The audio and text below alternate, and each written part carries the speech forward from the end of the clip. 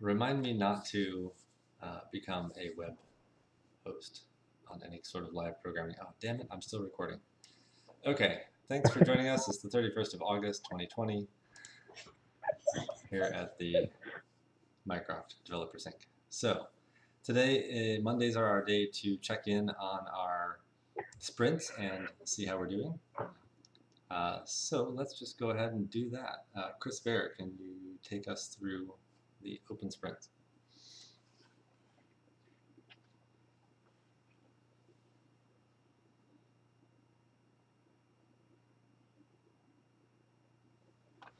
Now, now it is a singular open sprint, so that's that's a that's a change. Um, so I think we can just hopefully now with everybody assigned to everything, this uh, filtering by person will work. So let's see. This does what it's supposed to do. All right. So this would be me. Um, the upload endpoint to move is now um, tested and ready to go. So that's all in review right now. I don't have a PR yet because I'm um, I'm adding this script into it as well. Um, so, which is what I'm working on right now is the uh, script that will take the wake words uh, we collect on a daily basis and copy them over um, to the NAS. So um, once that's done, I've got a few other, a few more tasks over here to do this week, but um, that's kind of where I am um, right now. I also finished these over here with the new schema. So um, that's my progress last week and what I'll be doing this week.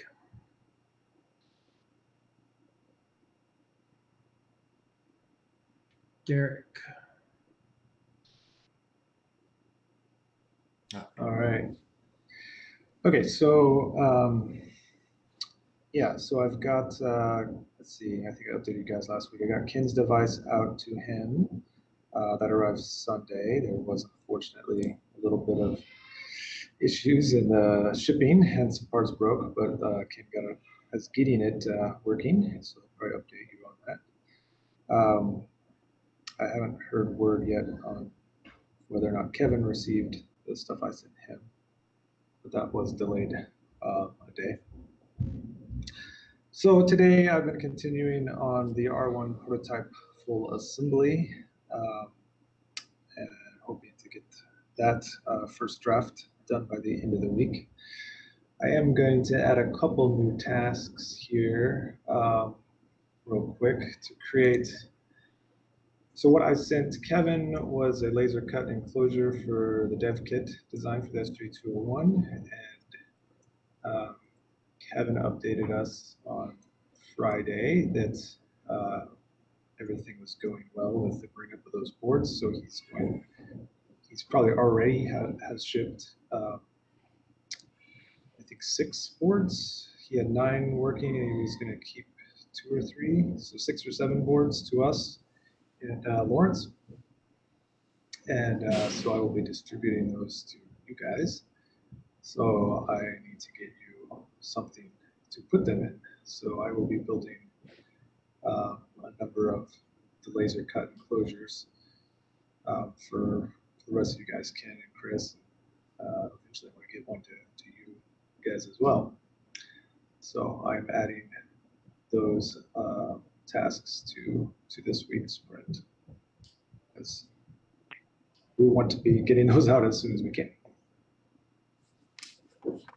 Um, if it makes more sense to like, when it gets around to my turn, if it makes more sense to just flat pack everything and construct it here so that it, you know, is less breakage, then totally do that.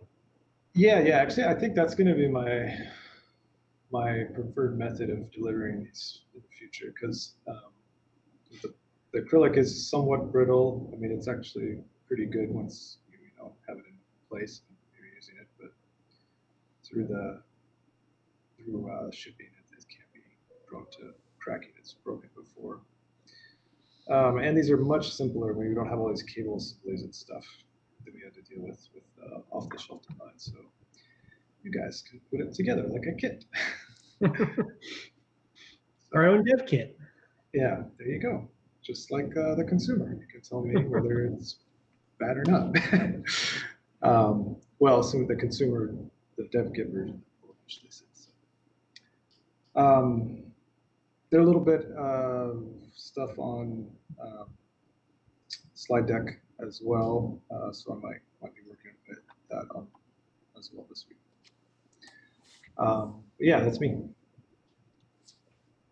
All right.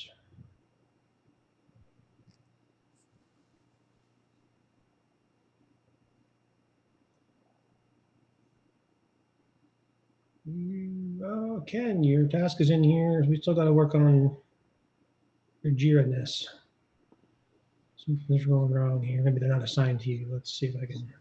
I know when I, uh, I had a, uh, custom uh, Jira query for my open tickets across all the projects, and I noticed that that query failed.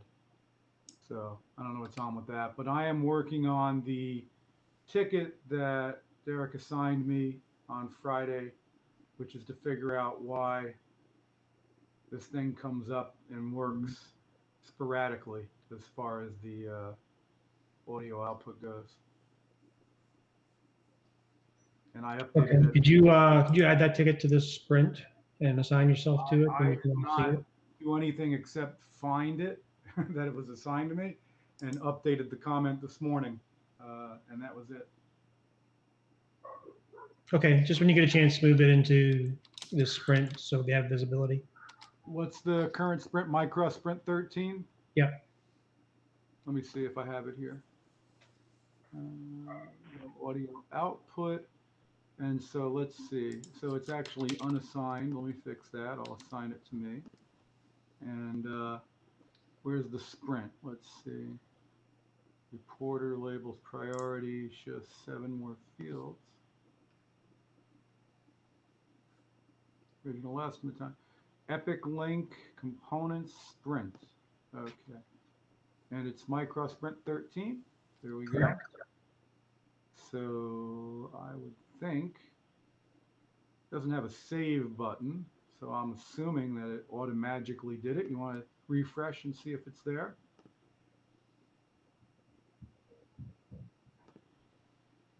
Yep, there we go. Okay. All right, great. So you're going to be working on that. Uh, I expect that will be something you can't work on until the Mark II is up and running. Uh, do you Uh, have? my Mark, my Mark II is up and running and registered, and I'm into it with SSH, and I'm into it with a keyboard plugged into USB, working off the monitor.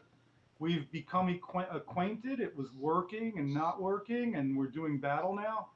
Uh, I know how to take it when it's working and get it to not work, and that's very simply to set the volume from the command line or have Pulse Audio touch it in any way.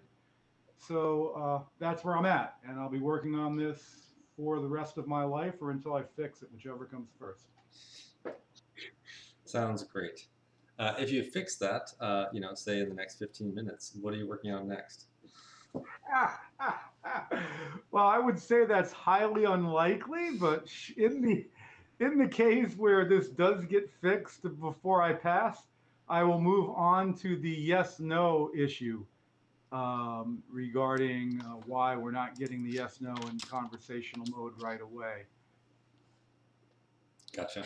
Okay, great. Let's make sure we get that on the sprint. I'm sure there's a ticket for that somewhere in here. There is, and it's just unassigned. You want me to put that on the sprint too? I can do that real quick. Yeah, that'd be Yeah. great. We can always move it to the next one if you don't get to it this week. Yeah. Okay. Uh, I yeah, I have some questions on the firmware and stuff on this uh, device. Where do I go to, or who do I speak to about that stuff? Uh, Derek is probably your best bet. Um, okay. Well, we've already done that. What, what, what are, what are you looking for? Well, Uh, some information on um, the actual device drivers that were developed for this card. Which card are you working for? Is it SJ201 or the Seeed Studios? Seek, S E E D, S E E E D, the respeaker array. Yeah, probably Seeed's website's your best bet. Well, I, So- can't point you to the, the firmware that you can download and flash onto it, although I've flashed it already to what we are using, which is. I'm not too uh, concerned about that. I'm just wondering about the device drivers in general. So let me understand. The SEEED is an off-the-shelf component, is that correct? It's an off-the-shelf respeaker array? Yes, from, yes, from a company that makes hardware and claims that they are not going to do any of the software work, as I understand it. And, Well, um, they, they have done their own custom firmwares for, for the, so that you can flash onto the XMOS. Okay, maybe I'm thinking of something else. That, that I think you're All right. thinking of, well. I guess I'm just, I guess I'm just looking for somebody who can explain how our hardware is connected together.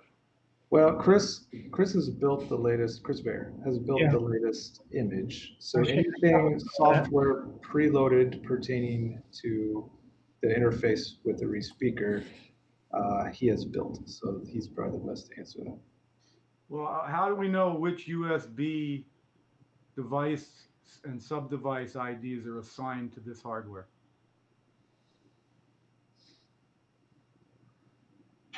The reason I Um, I ask, wonder if getting confused. like- we should take this to another Yeah. meeting or something. Like, Yeah, well, let's, seems let's, let's outside I get was through this. asking who I can speak to. I Well, just need to know who I can speak to. The team's not That's that I big, think- just I ask think- everyone. yeah, Yeah, I think this would be a dead team chat thing, is where I'd raise it. And you In can look in the chat? Mycroft repository too, because um, that's where the, that's where the, that's where a lot of the drivers in the OS, the Buster OS, and is all kind of put together. Is in that Pycroft repository, and there's documentation in there about how that's done. Um, there's like a recipe we call it, how you get from point A to point B. So if you want to, uh, if you want to poke around there, um, you can do that. And yeah, feel free to hit me up in in chat, and I'll certainly try to answer your questions. Okay, I'll just, I'll piggyback on this question real quick. The, so the, um, Pycroft, we've supported the respeaker microwave for some time. Correct. Um, So a lot of that was already existing when you, when you modified the Pycroft to become the new Kiwi, sort of. Yeah, I just, on boot up, I just selected the respeaker um, option on boot. Um, So what, you know, if, if there's issues with that driver, it's going to be part of that Pycroft image. Right, which has been around for at at Probably least like now. eighteen months or so. You know, yeah. so are you saying that this is the exact same hardware and software that's used in another device that's been working? This is the base for this image is the, the image that we distribute for Pycroft. How well What is Py- Pycroft? I- I- You have to remember, I'm relatively new around here. Pycroft is just the, is basically, it's a build it yourself Mycroft. You, you start with a Raspberry Pi 4 and um, the image and you provide your own uh, speaker, your own microphone and build it yourself. And that's, so Pycroft is just like the software and the um, operating system for, for that implementation, the kind of a do-it-yourself thing. So You're saying it's, it's the image we've built for the Mark II? it's the image we've built for people who want to build their own Mycroft, basically, using a Raspberry Pi. That's why it's But called if they're Pycroft. is using- the Raspberry Pi Not using the respeaker daughter board, then they're using the built-in Broadcom chip for USB audio? Um, I, well, there's several options when you when you go into Pycroft and do the set, initial setup. There are several options for what kind of microphone you want to use and um, and what kind and of kind of speakers. And Yeah. we've got both. We've got the default built-in Raspberry Pi drivers, and we've got the new stuff for the re speaker array. So my question is, why do we have the default stuff for the old built-in speakers still hanging around if it's going through our daughter board now? I suspect it's getting confused periodically on which is the default de- device. that, that was, that was what I suspected as well. I just, that's a little lower level than I know how to fix. So I, that, because there are two drivers, but I know from, from digging I did that the respeaker driver is the default. I don't know how that would, you know, get flipped, but, you know, maybe by removing the other one. Or, but I mean, we, it would work better. I don't, I don't know. I, I think they're So- both configured to be the default and there's contention there, but I don't know that for sure. I'm So- just, I just got my device up. Okay, so Pycroft is intended to be a jack of all trades operating system for anybody who wants to use Mycroft on a Raspberry Pi. So it's intended to support, you know, the three and a half out on the Raspberry Pi. I don't know if Raspberry Pi still has the three and a half out. I think it does. It's it's intended to support USB audio. It's intended to support daughter cards, and then it's it's built with the idea that the end user has deep enough expertise in Linux or is willing to go through enough pain to make it work and and I think that we're we kind of bridge those two things with Gez having deep experience in Linux and the rest of us willing to undergo significant pain. So the Mark II is really a, a Pycroft, but it's a supported version of the Pycroft that we officially support that has a certain, you know, mic array, a certain uh, speak, you know, everything that we kind of put into it. At least that Mark II that you and I have right now. SJ201 is a different, will be a different story. Um, Yeah, the SJ201 we probably will strip that down to the absolute bare essential components to make it work reliably would be my guess. But yes, today it's generalist, and so don't be surprised if there's three different three different drivers and a bunch of config files and you know ALSA and Pulse Audio running simultaneously and a bunch of other pain for uh, that, that has been left as an exercise for the end user. And us. Yeah, well, this is this is one of those issues that we you know identified pretty uh, well earlier this year at least. Um, that we need to definitely clean up the build and and you know packaging system, right? So um, we don't have a we just don't have anybody who's in charge of the build process anymore right now. So that's a that's a that's a role we're going to fill in uh, toot sweet in the future. So Yeah, I'm the closest we've got, unfortunately. I've been I've been slowly working away um, at the Pycroft automated build system as well, um, just on weekend kind of things, so that we can have you know nightly Pycroft builds, for example. Well, you know, a, a Pycroft build after all after any merge of of um, anything into devs anyway. Well, I mean, I'm not ruling out hardware and I'm not ruling out that when something tries to reset it at the ALSA level slash pulse audio level and it, it's not flipping some bit properly during the reset sequence because it, it does put, ALSA does put these devices in suspended animation um, and then tries to bring them back up. So that bring up process could be the pro- problem. I'm not sure. But it, it I'd just also- looks like there's contention because they both want to be card zero. And I think they. I, I haven't I've only just seen this ticket, but like I'd also make sure that the audio service is actually running. That the audio um, what? That the audio service is running. What audio service? It could be the, Mycroft, mi- the the Mycroft Core audio service. I turned off It's- Mycroft. I'm, I'm trying to minimize. Oh, so it's all audio output, right? Yeah, I've, I've not plugged in my amplifier yet. And I've specifically turned off um, Mycroft so that it's not the culprit. And I'm just looking at the Linux, working my way up the stack or down the stack. I'll be getting into modprobe soon, but um, I'm just wondering who I can speak to that set this up and understands how it all works together. I mean, you Who- might be able to was talk to our- Ake about it. Okay, so Ake is the guy that was doing our uh, our builds for the images, putting that stuff together. Yeah.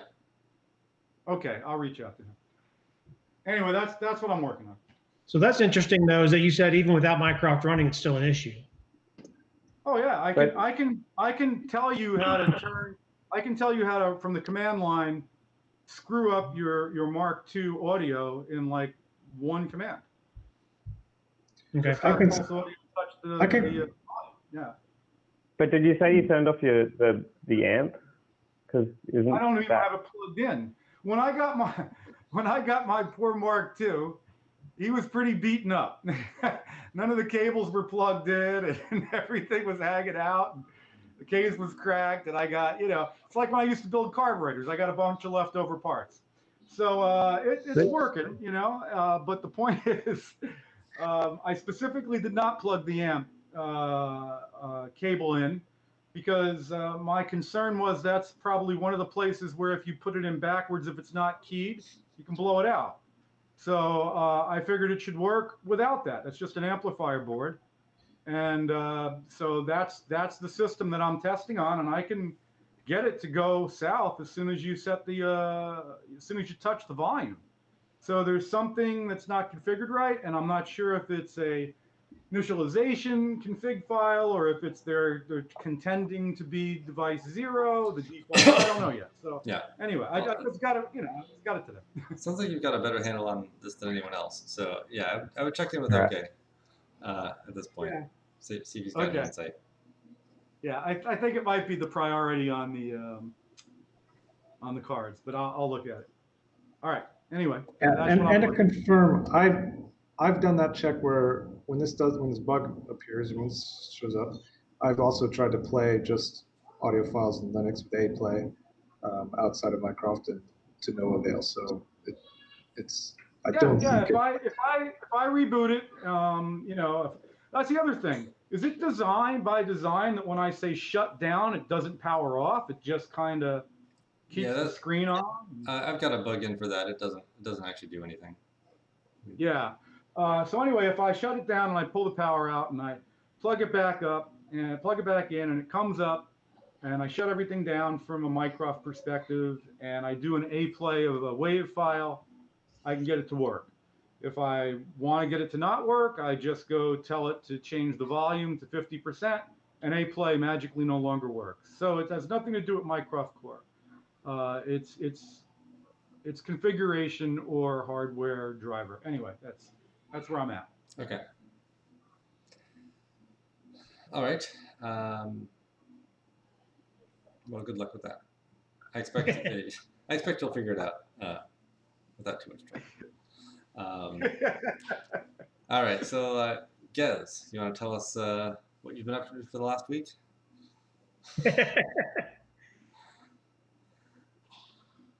Uh, yeah, been been working hard. Um, uh, good news is things are mostly working with 20, 2008. Um, uh, there was uh, one little issue that came up uh, where the VLC um, module, uh, audio service module, um, that's internal to Mycroft Core. It's only used inside Mycroft Core and by Mycroft Core. Uh, but because it's it's named the same thing as the, the file that it's in, it then conflicts with the VLC package um, from Python that, that gets used. So um, Ake submitted a fix to prepend all that audio service modules with, you know, with a with a string so that they can't conflict. Um, so I was just uh, testing that out last night because um, we should probably, you know, include that before we before we cut the release. Um, but I want to test it pretty solidly if, if it's going to go in there without um, having any time really in dev. Um, and I think other than that, uh, everything else can wait until um, until after the major release. Uh, so uh, the other thing is the skills. Um, there's a, a, tiny bug in, um, well, not bug. There's a tiny issue where um, the movie master skill can sometimes uh, try to answer um, pretty general questions if they're not caught by some other Q and A skill. Um, so it seems pretty minor. So if you ask something like, "What is a floozy? What's it?" then it might say, "I don't have a movie by that name," but it's also because it, nothing else has been able to answer the question. Um, so I don't really see that being a big issue.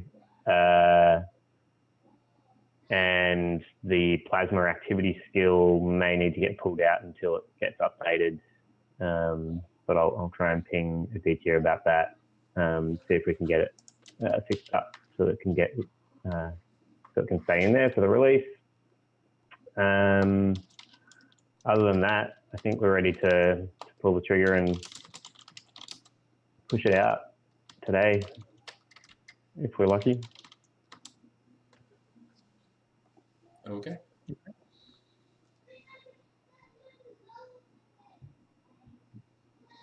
All right then. Um, While I still have everybody here, can I ask a question? Because something doesn't make sense to me. Sure, before you do that, um, there are six unassigned tasks in this sprint. Um,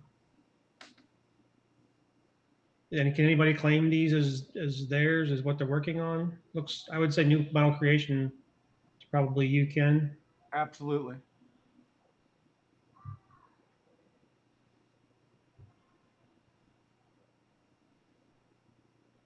Uh, The ones on the left, uh, at least with the tagging stuff, uh, don't we have a tagging meeting going off tomorrow? Yes.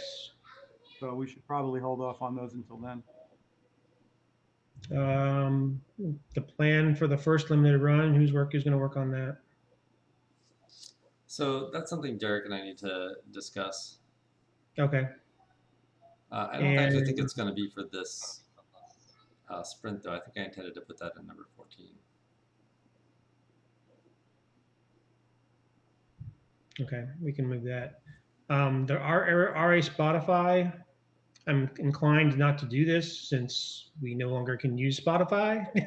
So, I um, think, I think I heard Ake say something about he was gonna modify it so that the user could put in his key.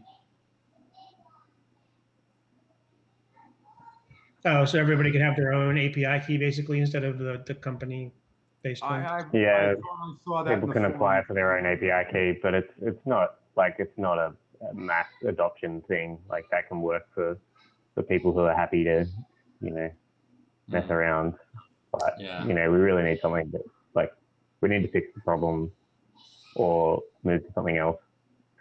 I've reached out to uh, through a different channel to Spotify and see if we can get that relationship reconnected.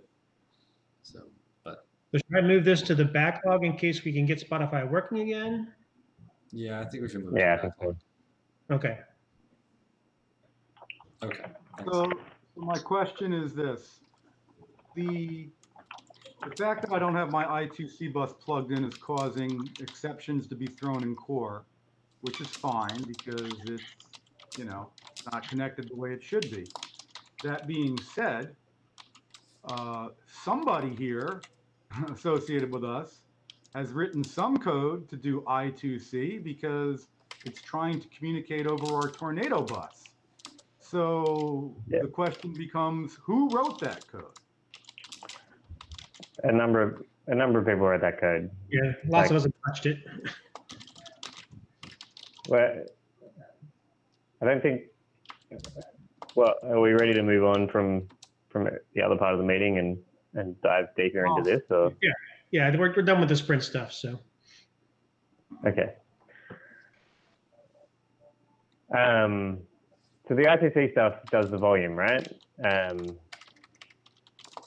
uh, I think what what's confusing me is so we're we're talking about the KV image, and it's not doing any audio out, but the audio out is on the KV image is configured to be by the GPIO pins, right? Yeah. And so if you have the amplifier unplugged, I don't understand how you can expect any kind of audio out. Well, audio out will still work. It just will be pegged at full volume because you have no volume control. But the, the audio output is, okay, so with- with the Mark II, the re-speaker is acting as ah, a Oh, USB, for a USB. USB sound card. yeah, okay. And so it's, it's, it- it's sending analog audio output via a three and a half, you know, aux jack to the amp. Yeah, So what Yeah. Ken has configured, he has that plugged in. The amp is powered and has the aux cable from the re-speaker microarray to the amp. So in Okay. theory, it should still play back. It'll just be at full volume with no volume control. And indeed, that's what it does. Yeah, so the reason we have code in core, I2C code in core is because of that max volume problem. We wanted to, to, we want to put a cap on the volume, the potential volume it could use um, for things like barge-in. Um, and we also wanted to put a cap on the, on the volume so we don't blow out the speakers. So that is the reason it, there is I2C code in core right now is we are, we're doing some I2C get and set commands um, inside of core just to limit the, what the max volume can be. And who wrote that code? Um, I maintained it recently. I'm not sure who wrote it. Um, could have been David Wagner would be my guess, and old someone who. Well, Yeah, Steve would have wrote it first, then David touched it, and Chris has touched it. Okay, I'm sure touched it at some point. Yeah.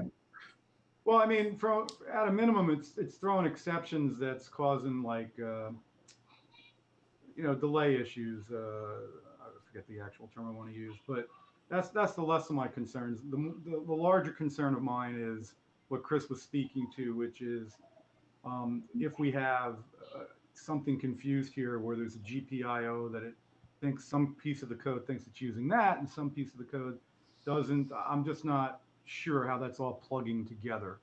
So that's what I want to understand is the actual stack of what's going, you know, where's the USB come in? Where's the actual driver? You know, is it, I'm assuming it's a low level driver that's ultimately getting routed, rerouted through USB, but all right. So bottom line is we really don't have. uh, I send you anybody I there. sent you a link with the script that sets up the driver too. Yeah, I saw that. I saw that. And I'll go Okay. through all of our configs as well and stuff. Okay.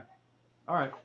There's a comprehensive document that um, indicates all of the drivers and various dependencies um, from a planning perspective that details all of the, the interfaces between the various different pieces of the stack and, you know, plans the entire thing end to end in a comprehensive way. Where is that document? It doesn't exist. We should probably make it.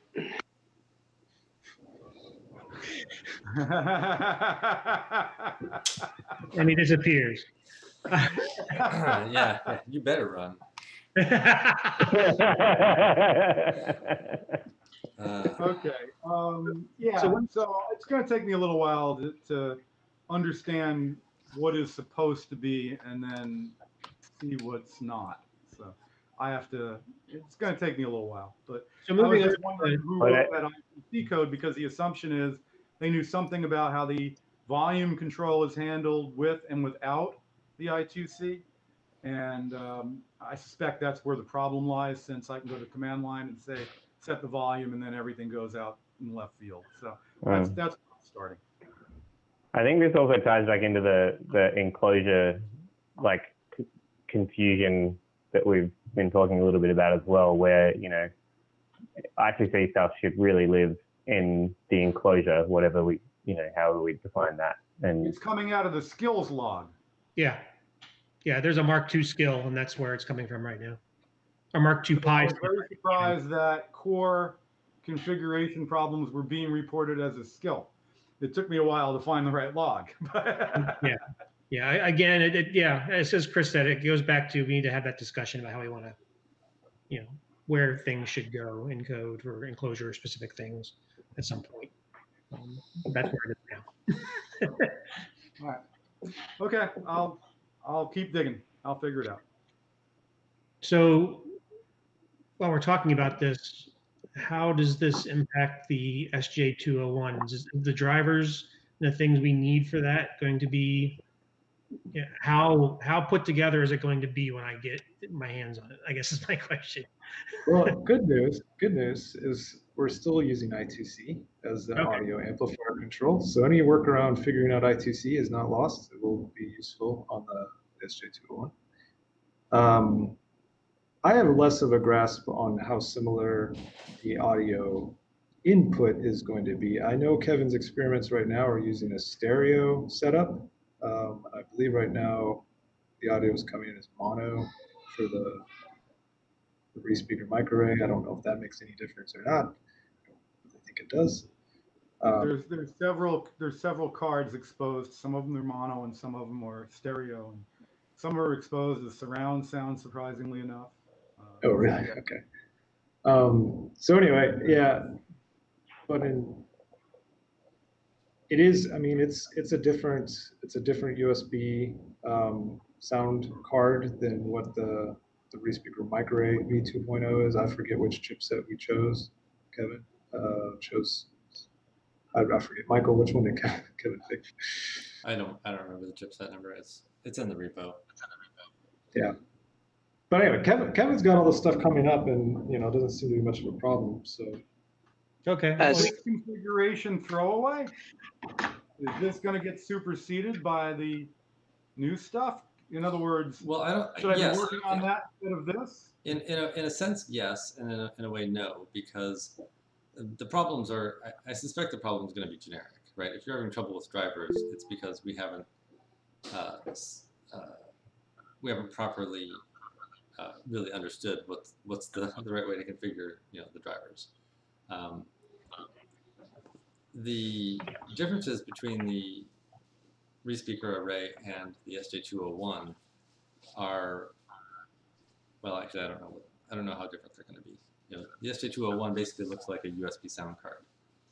Uh, so it just uses standard off-the-shelf, generic sound card drivers. Uh, to get to the XMOS chip behind it, which does all the uh, front-end noise canceling stuff, we go through a. It, it appears as a different chip on the USB bus. Um, and we also have, uh, there's also an I2C interface that we can use instead. So we've got a couple of ways to get to the XMOS chip.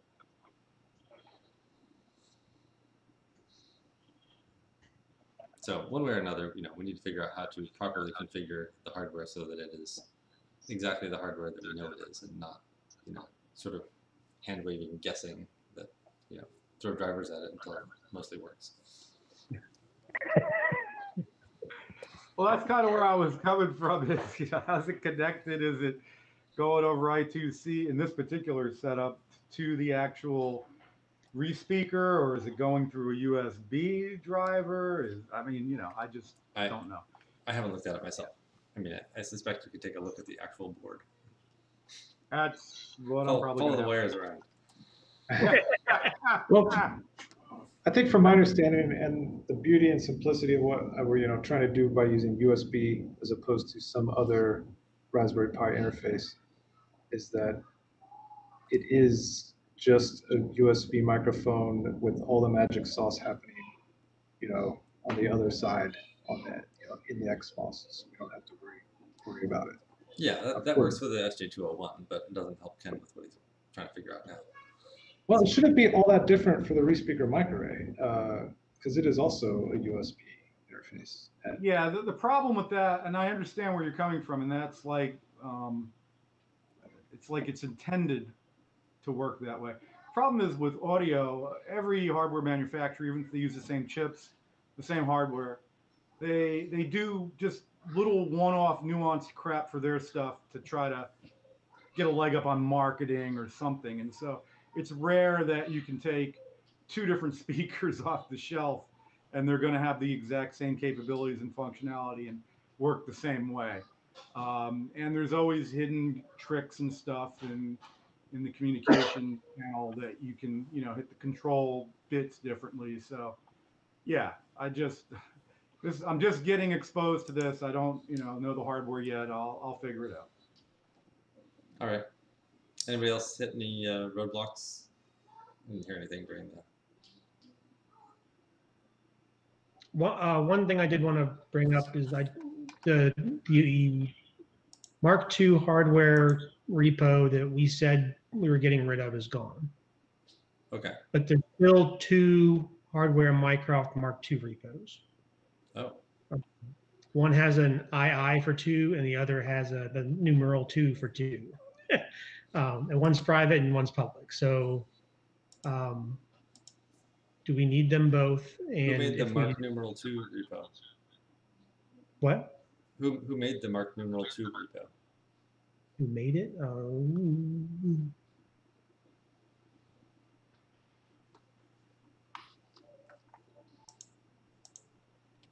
Well, the numeral two, I think, is the one where is the, is the active. Yeah, Is it? It's got nested in it. It's got uh, the OTS and the dev kit with uh, pushes on the dev kit from two days ago. Kevin, Kevin did some updates. So Uh, Yeah. Well, no, that's, oh, okay, sorry, I guess we're talking about different things. Yeah, so hardware Mycroft Mark II. oh, I, I sorry, yeah, is- I, I is is the the new- correct. Yeah, it's the new one. Yes. I, I don't see what think this what Mark it is. number two one you're talking about is.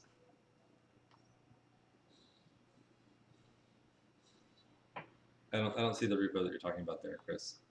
um, it's a private repo, so it might be that you don't have access to it. Maybe.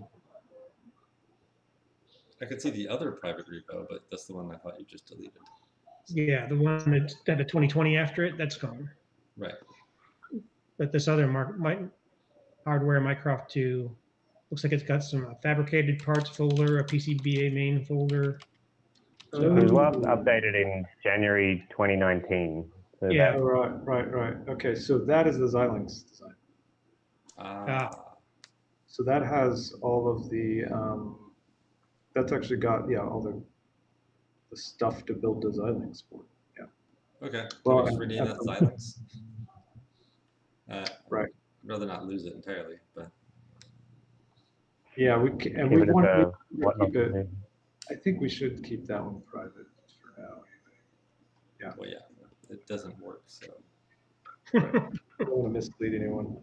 All right, I, I'll rename that repo so there's no confusion as to um, which is which.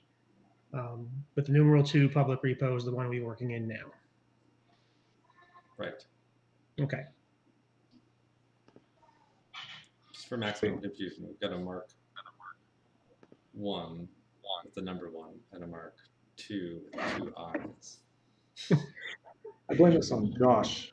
He decided that we needed to do number with an II. Yeah, it's Roman numerals. Always. I mean, it does, it does kind of fit with, you know, things that are named that way, or two, or three. Well, yeah, that and Good this. thing the I2C guys didn't decide to name it that way. It'd be IIIC. Yeah, is it, and actually, isn't it like I, s- don't know what people call I squared C? Yeah.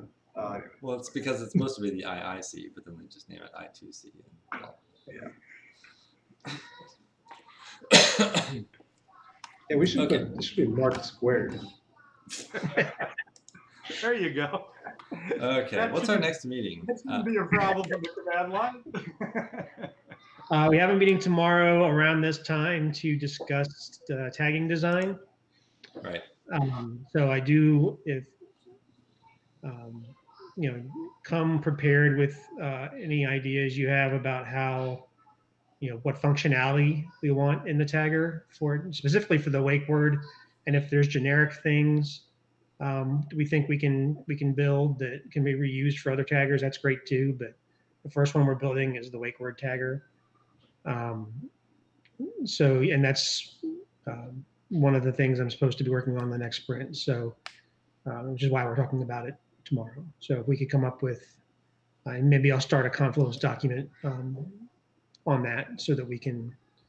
I mean, I already have one started actually, but uh, so we have a, a point to start with. But um, yeah, Derek, if you have some time to give the UI design just a really a high level thought, um, you know, or if we or if you want to wait until you know you kind of put some requirements down as to what it needs to do, um, we can do that I- too.